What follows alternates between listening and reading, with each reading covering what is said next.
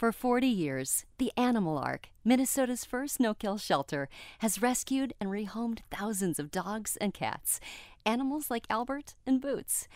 Our animal shelter is located in Hastings, Minnesota. We've worked hard to change the perception of animal shelters as cold and forbidding places. Our caring staff and large volunteer corps interact with our animals frequently during the day.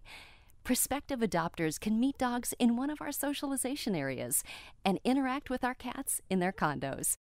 Here's what some of our Animal Ark alumni have to say about the family members they adopted from Animal Ark.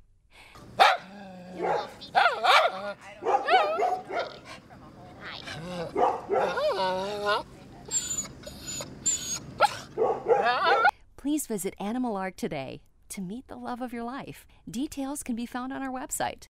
Animal Ark, because your new best friend is ready to go home.